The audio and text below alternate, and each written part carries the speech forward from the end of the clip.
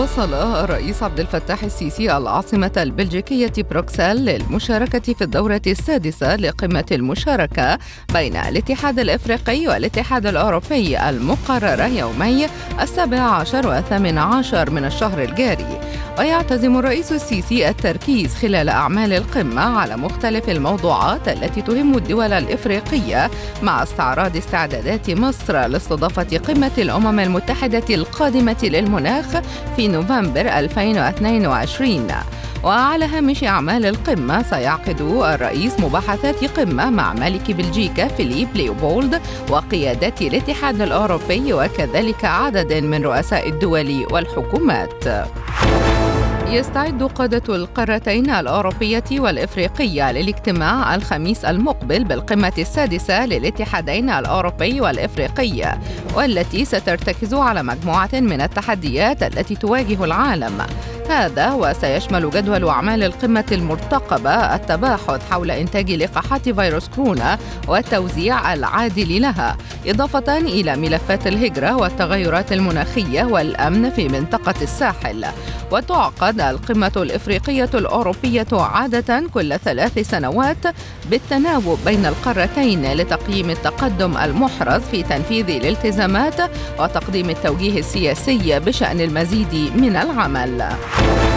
عقد رئيس الوزراء مصطفى مدبولي اجتماعا لمتابعة الموقف التنفيذي للمشروعات التي يتم تنفيذها في إطار المبادرة الرئاسية حياة كريمة مؤكدا أهمية ما تحظى به المبادرة من اهتمام من قبل الرئيس السيسي. واستعرض الاجتماع تقريرا حول الموقف التنفيذي لمشروعات المرحلة الأولى التي يصل إجماليها لأكثر من 30 ألف مشروع في مختلف القطاعات.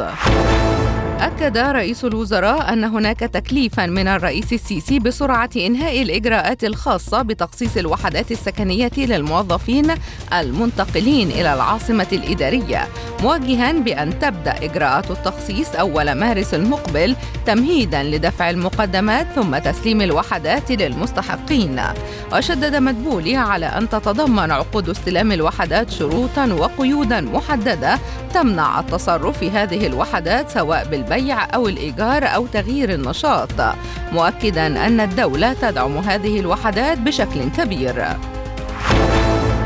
أعلنت وزارة الداخلية مقتل سبعة من العناصر الإجرامية شديدة الخطورة في محافظة المنوفية بعد تبادل إطلاق النار مع قوات الأمن. وأوضحت الوزارة أن المضبوطين نفذوا عملية سرقة بالإكراه تحت تهديد السلاح من إحدى المزارع بدائرة مركز شرطة بدر بمحافظة البحيرة. وبعد تتبع خطوط سيرهم تم ضبطهم في دائرة مركز شرطة سداد بالمنوفية. وأضافت الوزارة أنه عثر بحوزة العناصر الإجرامية على سبعة بنادق آلية وبندقية خرطوش وكمية كبيرة من الذخائر والطلقات مختلفة الأعيرة.